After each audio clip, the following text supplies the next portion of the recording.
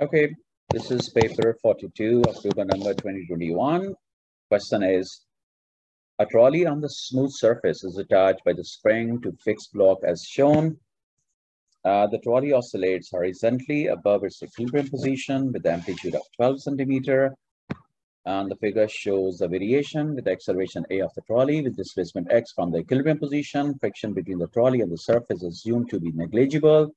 This is acceleration against displacement graph. So describe the feature features of the line that demonstrate that acceleration and uh, that the motion of the trolley is simple. Look for the simple harmonic motion. Acceleration must be directly proportional to x but opposite in direction. So the number one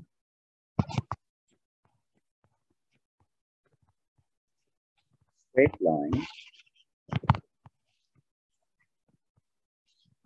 passing through region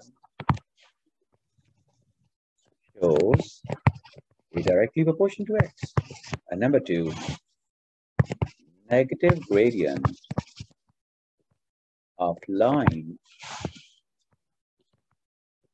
indicates acceleration and displacement are opposite in direction.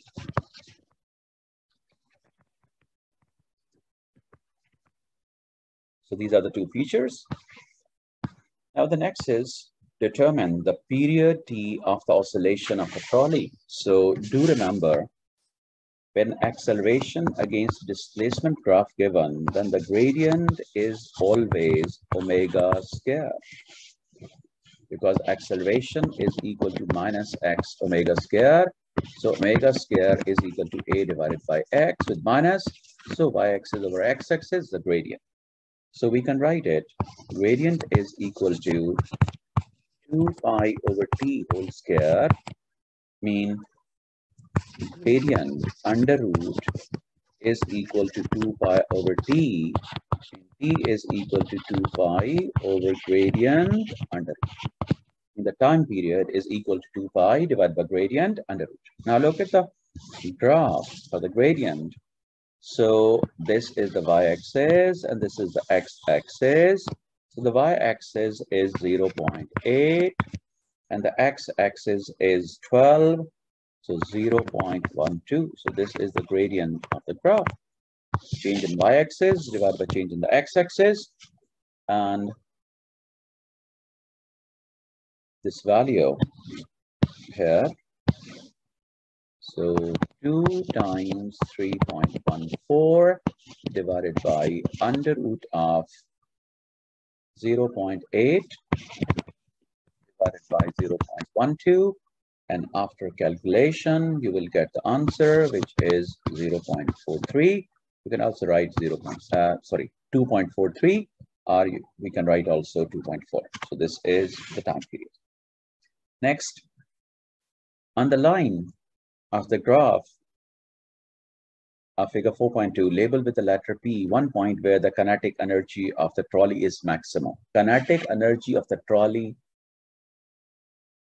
is zero, sorry, not maximum, mm-hmm. zero. So zero kinetic energy will be at the maximum displacement at the extreme position. So in the graph, this is the maximum displacement. This is the maximum displacement. So one of the point is labeled P, maximum displacement, this one. You can also label this point here, but one point is required. So at 12 centimeter, you have to put a P point on the line to show that the kinetic energy is zero. And the next part is on the line of the graph, label with the letter Q, an approximately position of one point where the kinetic energy of the trolley is equal to, okay, we have done in the theory, that when kinetic energy exactly equal to the potential energy and displacement is equal to amplitude divided by under root 2. Not 50%. Amplitude divided by under root 2 mean 0.707a mean the displacement here for this equality is 71% of amplitude. So we will calculate the 71% of 12, which is approximately 8.4. So we will mark 8.4. So this is 8, this is 8.4, but this is 10, um, this is 9, this is 8.4. So this is the point. This is the point. And similarly, you can use this. It's up to you. Just one. Now, I explain this. Kinetic energy, this is not the requirement of this part. Kinetic energy is equal to potential energy. Kinetic energy formula is 1 by 2 m omega square x naught square minus x square and the potential energy 1 by 2 m x square omega square where x naught is the amplitude and x is the displacement where the energy is required 1 by 2 cancelled m cancelled omega square cancelled. So it is x naught square minus x square is equal to just x square. So x naught square when this comes here it becomes 2x square so we can write 2x square is equal to this x naught is amplitude, amplitude square. Now, x square, amplitude square divided by 2. So x is equal to amplitude square over 2 under root. So x is equal to amplitude divided by under root 2.